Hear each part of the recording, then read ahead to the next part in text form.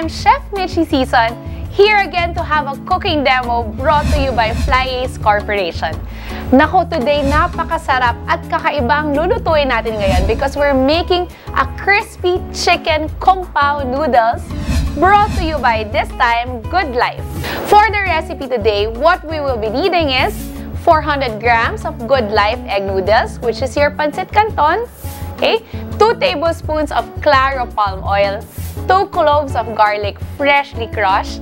We have 1 cup of oyster sauce, also by Good Life, 2 tablespoons of red wine vinegar, 1 4 cup of cornstarch diluted in water, Good Life sesame oil, some peanuts, some cilantro, some lime, and we're about to start our cooking.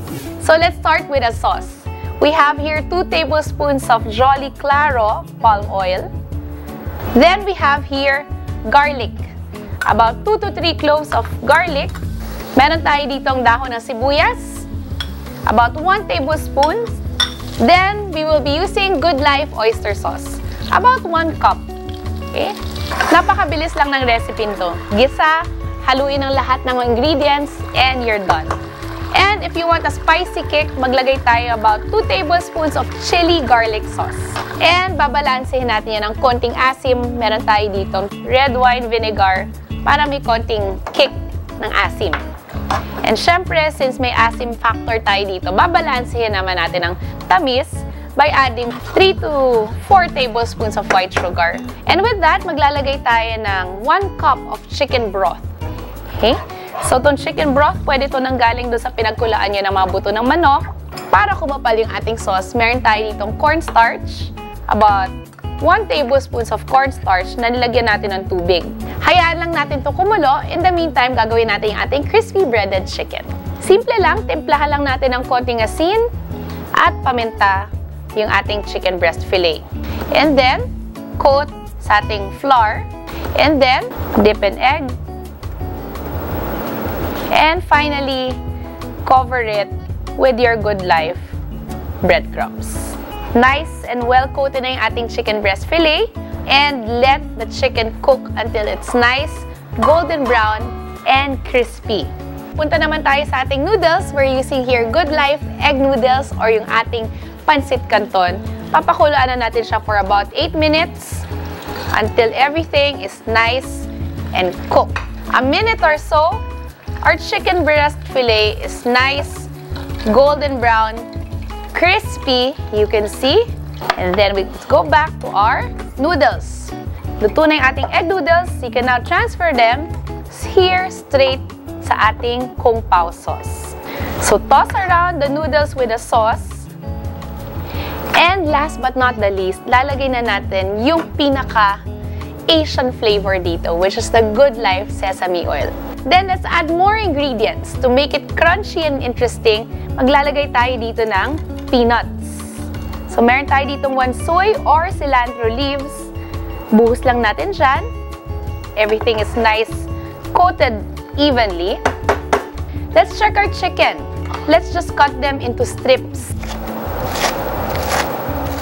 Alright, ayan. So, nahiwa na natin yung ating chicken. Let's start plating.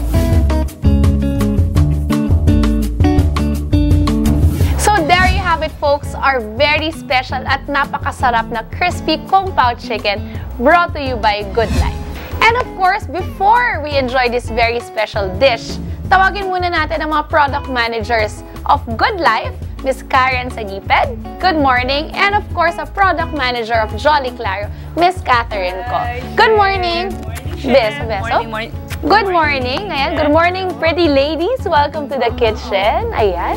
So, alam nyo, ang sarap ng niluto namin ngayong umaga. Karen, can you please tell us more about Good Life? Okay. Great about Good Life products. It's that it brings out the authentic taste and flavor. Your Asian-inspired dish. Correct. Ayan. So, ito yung okay talagang gamitin, mga Tama. Good Life products. And of course, for Filipino family celebration. Ayun. So, thank you so much, Karen. How about you, Miss Catherine? Yeah, we, uh, we Filipinos, we really love uh, frying. So, in frying, uh, we need a dependable cooking oil like Yes. Jolly Claro.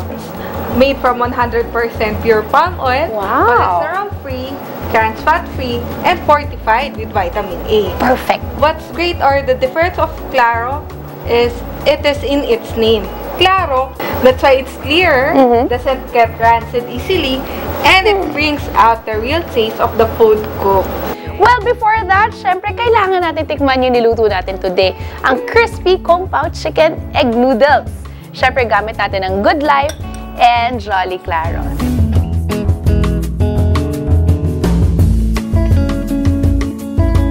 Ayan, so napaka-perfect nitong ating recipe na niluto today with the use of Jolly Claro and Good Life. So again, I'm Chef Michi Season. Thank you so much for watching our cooking show brought to you by Fly Ace Corporation. Have a great day, everyone. Bye! This portion was brought to you by Fly Ace Corporation.